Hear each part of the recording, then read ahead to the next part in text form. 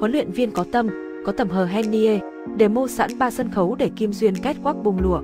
Tháng 12 tới tại Israel, Kim Duyên sẽ chính thức lên đường dự thi Miss Universe.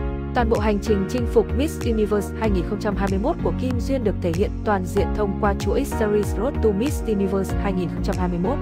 Trong tập 4 vừa phát sóng với chủ đề Kết Bà hậu Kim Duyên may mắn khi được Hờ Henie tái lập sẵn ba dạng sân khấu để thử thách cô em gái vượt qua giới hạn của bản thân. Theo đó, Kim Duyên sẽ phải trải qua 3 phần kết với các sân khấu giả định, sân khấu chữ V, trang phục xã hội, sân khấu chữ X, trang phục biển và sân khấu của Miss Universe 2020.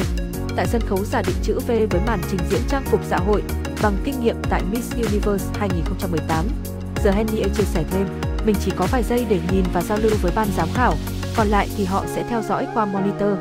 Hoa hậu nhấn mạnh một lần nữa, sự tập trung và tương tác với ống kính là cực kỳ quan trọng. Kim Duyên thừa nhận hồi hộp nên đã mất tập trung trong lần đầu tiên thử thách, nhưng sau khi bình tĩnh hơn, lắng nghe chia sẻ của hai vị huấn luyện viên, Kim Duyên nhanh chóng khắc phục và trình diễn thu hút hơn. Đến với phần trình diễn bài trí chữ X, cũng là sân khấu mà Hờ Hennie từng tỏa sáng. Đến với thử thách này, Kim Duyên phải học cách để xử lý các phụ kiện, đạo cụ đi kèm với trang phục biển, giả định. Dặn dò Kim Duyên, Hờ Hennie chia sẻ, năng lượng của phần thi này là năng lượng của sự nhiệt huyết, của những cô gái tươi trẻ và hiện đại, bao nhiêu niềm vui, niềm hạnh phúc của em hãy quăng hết vào phần thi này. Trước những lời góp ý thẳng thắn và chân thành của Hoa hậu Hờ Hennie, Kim Duyên không thấy buồn mà ngược lại còn rất vui. Chị góp ý thẳng để mình biết điểm yếu và điểm mạnh. Hờ Hennie cũng tin tưởng với sự tập trung và tiếp thu bài học nhanh của Kim Duyên, cô sẽ làm tốt và thể hiện đúng tinh thần của bộ trang phục. Kết thúc buổi kiểm tra sẽ là phần kết quắc trong trang phục xã hội trên sân khấu của Miss Universe 2020. Ngay khi thay trang phục và bước ra, cả hai huấn luyện viên lập tức bị thu hút bởi sự thay đổi và thần thái của Kim Duyên.